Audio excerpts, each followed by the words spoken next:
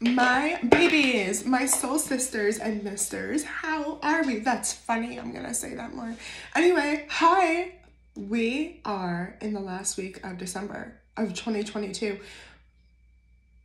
Does that make sense to anyone else? Time's an illusion. Let's keep going. But really, it's really crazy. I'm really excited, you guys. Listen, I know I told you guys I was going to put out so much more content for my channel, and then I got sicky. Okay, so bear with me. There's purpose. This reading is going to be a little bit different from the other weeklies that I do. It is still for whoever finds it, finds it, okay, all that good stuff. But it's very specific. It really is going to be centered around our shadow work our inner healing. Um, we're gonna do almost like a what was the lesson of 2022? What do we still have to close up in this last week? Okay, um, and how we can go into 2023 with our best selves, not bringing in that karma juice, okay, of lessons that we didn't, that's too much. of lessons that we didn't complete earlier, okay? So you guys, I would really appreciate it if you would help me out and throw me a like, throw me some comments, leave your feedback. I love it, okay? I can take constructive feedback. I'm not afraid, okay? But I like nice feedback too, okay? Share, subscribe. I appreciate you all tremendously, okay? I hope you're having a happy, safe holiday. And let's see what's happening. The 18th could be important to you in general. Also, uh, January 8th okay, or the number nine. All right, we are looking at the creatrix. What does this mean? We'll find out. It'll be great. Your soul is a divine creative fire. She wants you to break free from what has been and give life to something new. You may experience this as feelings of restlessness, of being confined, or as a craving for something more than you cannot quite articulate. Your soul doesn't want you to push the new life away. She wants you to embrace it. When you let go your inhibitions and freely express yourself, stagnant situations will be cleared out by the powerful release of your energy, which creates openness. Let your inner artist play out in whichever way feels fun, raw, and honest for you. It's time for you to experience something new. You have the need and the ability for creative self expression, whether it's your look, your room, your art, your altar, your journal, or your life. You need to be free to let this inspiration within find a way to take shape into the world. Some ideas will come together beautifully straight away, and some will need to be revised or released completely until you feel satisfied by the expression. Your creativity is most powerful and healing when it is true. It's not about someone else getting it or teaching some imag- imaginary standard of perfection or making a million dollars. The universe has a beautiful plan for your life. When we honestly and creatively express ourselves, we are playing with the universe and help that beautiful plan to unfold. Some people won't understand the creative process, the importance of working from inner timing rather than external deadlines, or learning to be comfortable in the mess of possibilities before the inspired idea reveals itself to you. They may question your sanity or tell you that you aren't living in the real world. You know that the world created from our hearts is more valuable, beautiful, and real than any world created from fear. Creativity is such a gift. It is worth the price of being different and not always being understood. You are an inspiration. Don't hide your creative fire away. Let it burn bright and light up the world. That's beautiful. Oh my goodness gracious. So it looks like we still need to get in touch with our self-expression, okay? Allowing ourselves, you know, I just got this uh, message about self-care, right? So perhaps it's about really um, bringing in that creative energy to give ourselves like that final missing layer, okay, of how we can connect with ourselves. I get asked all the time, how can I connect with my inner child, right? How can I connect and give myself the nurture we need? Do things that make you feel, okay, whole, pure, okay? Maybe that is painting, okay? Scrapbooking, right?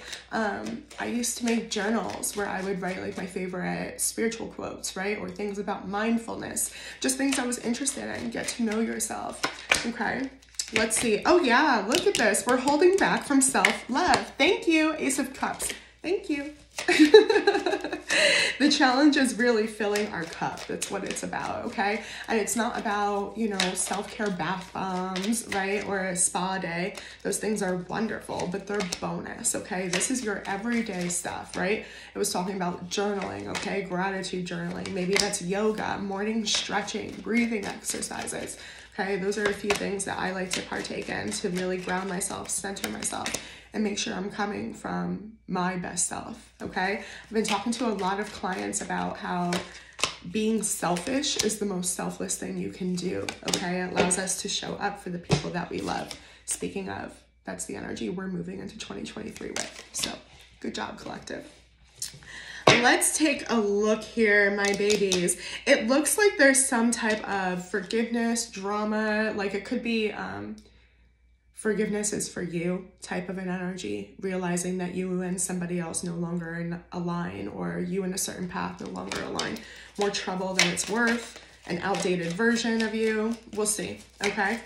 Let's take a look into what you are really like either defensive of or holding back from, okay, with that Four of Pentacles. Virgo, Taurus, Capricorn energy. Oh, happy birthday to my Capricorns. It's a season of miracles. The moon in the reverse. Oh, Pisces energy. The star. I just pulled the moon and the star. Hmm going out with a bang here and justice in the reverse. Of course, this is clarified by three major arcanas. Why wouldn't be? It's about your breakthrough though. You know that you watering yourself down, okay, dimming your light, being agreeable, okay, um, sitting in the passenger seat. That was never meant for you. This is really, really big energy. You have a large purpose to step into here. I'm actually going to go another layer into this because it's like you know this. This isn't a surprise, okay? But there could be some people around you or again, I don't know, I'm even getting like a little bit of devil energy with like toxic people, places, things, thinking patterns, behaviors, okay? Um, that could be holding you back. Okay. Yeah. It's like, it's this feeling of, I know things aren't fair, but I don't know where to go from here. And you may be stunting your growth by not even trying, okay? It's like I have no point of reference. I've never done this before. Four of Cups, Ten of Cups. Mm-hmm. What does happiness look like to me? I know that this isn't it, okay? This could be talking about love, absolutely, okay? I know that I have settled in the past. I know some of you might be getting divorced with that justice in the reverse for sure. But you're coming to terms with this was all part of the plan. This was a stepping stone in your journey. Sorry, I'm just getting that. It's like this wasn't the type of love that I wanted. You have something deeper to give. Okay, I think that actually is going to resonate for a lot of you. Otherwise, this is stepping away from where you thought you were going to retire, right? And your career. Like you may have thought that you were going to stay with the business forever. Three of Swords is popping out. There's definitely, it's like some hurt letting this go. It's grief, it's acceptance, but it's also remembering there is a divine plan, okay? The universe, the divine, God, spirit, they know exactly what they're doing, okay? Let's talk about your challenge of that self-love. I just saw the Two of Cups trying to show itself. Mm -hmm. You cannot move in to a Two of Cups with half a cup. Okay, you can't walk around. I said this in a video asking more for people to pour into your cup, okay? You also can't walk around with this overflowing cup hoping to pour into the empty ones, okay? It's two full cups coming together, two independent people coming together, and right now, you have some work to do, and that's okay. All right. Again, really nurture yourself. This may be um, going to therapy, okay? Some type of support group. Maybe it's just seeing your friends, socializing, especially if you've been a homebody or shutting people out. Strength card, Leo energy. Looking at why you haven't been nurturing yourself to begin with. I think this is socializing for a lot of you, to be honest, okay? Or perhaps it's dating before you're ready. That could be a lot of it for a lot of you. Tell me more. There's like some inspiration that wants to come, some type of spark, whether that's, um, again, hobbies through your creativity, like your oracle was talking about, uh, getting out there again in the dating world. This can, yes, 10 of cups in the reverse the sun. I'm telling you, whatever it was that you walked away from, okay, maybe it was a family member that wasn't healthy for you, okay? It's like that is sad, but you're breaking a generational cycle here, would be what that says, okay? Same thing again with um, a divorce or a separation with your person. It's like this was a stepping stone to bring you closer to your truth, your true happiness, okay? Forgive yourself and possibly the other person, okay? You're both moving into your new chapter, is kind of what I'm getting there. Actually, and that is what's left to do, okay, this last week leave it all behind. Isn't that symbolic, right? With moving into a new year, but that's exactly what this card is talking about. The Five of Wands in the reverse. No longer arguing. It's like, it's an energy of who can have the last word or like, I don't know, maybe obsessing. Okay, tell me more. It's like, let it go, release it. Re yeah, this is what you're holding on to. This was your uh, energy showing up. Scorpio energy with the death card. It's done. It's over. I am seeing some of you could have lost somebody this year too. Maybe you guys didn't make peace, okay, before they left. It's understanding that in their soul, like, it's all good. They want to help you grow. They want you to find that forgiveness. Wow, that is definitely possibly a message for somebody, okay? I love that when we first pulled your energy with the Four of Pentacles on what you were holding back from, it came up as three major arcanas, major soul lessons.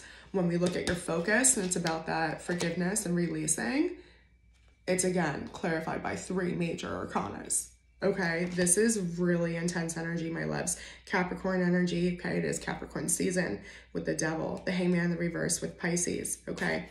A new perspective on why this had to end, understanding it was a toxic habit. Um, so if you were fighting with like a toxic family member, okay, or an ex, um, it's like this person isn't healthy, right? You can only meet someone as deeply as they've met themselves right? We don't know what we don't know, okay? And there, so there might be like a frequency difference between this. And it's like someone has to step away, right? Otherwise, it's going to continue. We're going to go around in circles. There will always be another reason to be triggered or angry, okay? And you could have really lost yourself in the past here, okay? Your stability. But yeah, I'm getting either like toxic family environment, work environment, and completing rele completely releasing this. All right. Can I just get, yeah, I think I need to do one more layer with this. It's just too much intense energy. This is loud to you guys. Like the universe is going to make this so loud that you can't possibly ignore this. Okay, and then they're going to try to trigger you. This person, okay, or situation is going to keep popping up, or you're going to notice it's the same uh, frequency, energy in multiple areas of your life where it's like literally just vibrate higher, right? Take care of yourself. Again, meditations, right? Um, self-care. Ten of Wands in the reverse, let the burden go. It's not yours to carry anymore. We, Spirit's actually saying you let this go or this was moved on from or released from your life a while ago. So it's just that like residual leftovers, all right? Yeah, the world in the reverse. It's just accepting that the cycle is over, really breaking it once and for all. Like it may be removed from your 3D, right? Just like I was talking about somebody passively possibly passing away. They're not here in our 3D, but something still exists in the 5D. Same energy. Okay. Oh dear. Yep. It's time to move on. Oh my gosh. Yeah. It's like my happiness wasn't here. This wasn't my end all be all. Be okay with that. Be excited about that. You get to discover yourself, your soul, connect with yourself. Remember, again, through creativity, and it's like find that passion, find that spark. Okay, 2023 has a lot to do with, um, again, no longer coming from ego. Your oracle was saying that, right? It's not about making a million dollars or whatever, it's about feeling fulfilled and connected. Okay, tell me about your strength position. You know that you lost someone or excuse me, actually, somebody really might have lost someone. I was going to say, you know that you lost yourself in someone or something, But yeah, you see something clearly. And I just thought of that quote where it was like, I allowed someone to bring out my crazy side, and it's like I decided never again would I give someone that power over me. That's coming up as your strength energy. Acceptance. Yeah, again, this isn't it. This wasn't it. It could have been love, you guys. The Two of Cups is coming forward, okay? Someone that you thought was going to be your rock somehow became toxic for you, like they were supposed to carry you or save you. Spirit is kind of like you have two feet of your own Mm-hmm. It's just, that's the same energy you guys were showing up in, like, but how? I don't have a point of reference, okay? The energy coming towards you before we enter the new year. Somebody with a hurt ego, maybe this is your hurt ego. It's again really looking at what didn't work, okay? But I do see this as an incoming energy. It could be a fire sign for some of you, okay? Aries, Leo, Sag. Some of you may have water in your chart as well. It doesn't really matter. I just like to point it out. Yeah, someone here, okay? Oh, they want to talk to you, but they don't want to apologize. They want you to take all like the responsibility. Yeah, no more watering yourself down collective. Mm-mm. If someone can't meet you where you are, it's time to say goodbye. It's like they have a lot to say, but it's pissy, you know? It's about why you hurt them, why you're wrong, why it didn't work out, you know? Yeah, free yourself. Look at that. They're coming in, right? Again, no apology, page of cups in the reverse, six of pentacles in the reverse. I'm not willing to put any effort or give to this, uh, but they have the eight of wands, a lot to say, right? Your advice is the eight of wands in the reverse. Goodbye. Make yourself like unaccessible, block them. Thank you for your time and experiences. oh man. Two of Wands in the reverse. The Wheel of, the Wheel of Fortune. Yeah, it's the right thing to do, okay? Like, please don't go down this road again and bring this into 2023 is what Spirit is saying. And it is specific that it's against this person, okay? Mm-hmm, there you are. The energy we're showing up in, Four of Pentacles, okay? Holding back.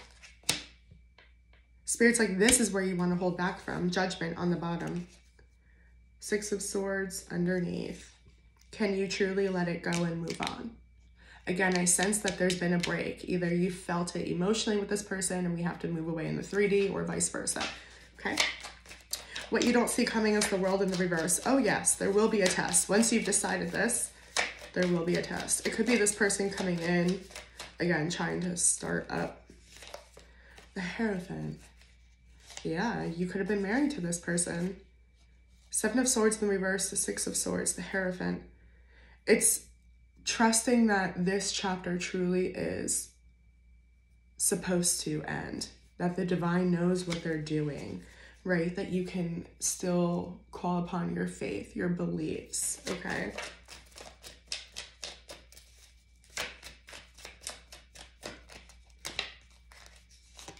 Nine of Wands in the reverse. It's a final surrender.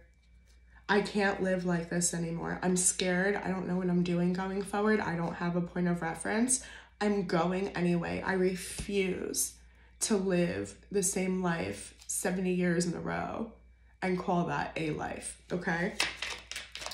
Your hopes and fears is the Three of Swords. Yeah, I'm afraid to feel the pain, but oh God, do I want to? I want to free myself, right? You have to feel it to heal it temperance in the reverse. Exactly. You can't put this off anymore. You have been living out of balance, okay? Just trying to keep your head above water. Um, really focused again in a 3D, but your soul is longing for you, longing for attention. I really do get that creativity energy, um, connecting with that divine feminine energy within you, male or female, is the way to kind of heal yourself here. Yeah. Again, where how do I do that? It's about building a home within yourself, knowing again that you are divinely protected, okay? That the divine is always guiding you. It's showing that same blind devotion to the universe as you have whatever this situation was that took you outside of yourself. Okay. And I see you doing it. The lovers, Gemini energy going forward. Tell me more. Six of Wands in the reverse, the Five of Cups in the reverse. Yeah, it's like, I don't need that. I don't need this to make me feel good, whether it's a person, a status, page of swords. I'm willing to learn a new way. Yes, you may be feeling inspired or motivated, maybe listening to a lot of self help stuff. Again, there was something about therapy. Hi, I'm a spiritual life coach. Doing that if you feel drawn, right? Ace of Wands in the reverse. What ignites my passion? Exactly the thing I've been saying this whole reading.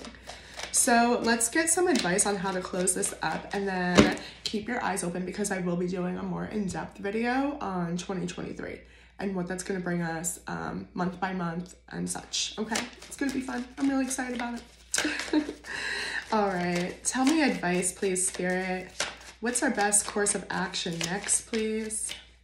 The Temperance card. Yes, ma'ams and sirs. No shit. Sagittarius energy. Remember the divine has got you. That seems like a really beautiful place to leave off, to be honest. Connect with yourself, connect with your higher self, connect with your soul. Remember those who have passed on, okay, are with you, guiding you. Turn into that blind devotion. Sooner rather than later, okay? It looks like all your dreams are about to come true if you so allow it. I hope that helps you guys. I hope you have an amazing rest of your year. Leave your feedback below as you please. See you on the next one.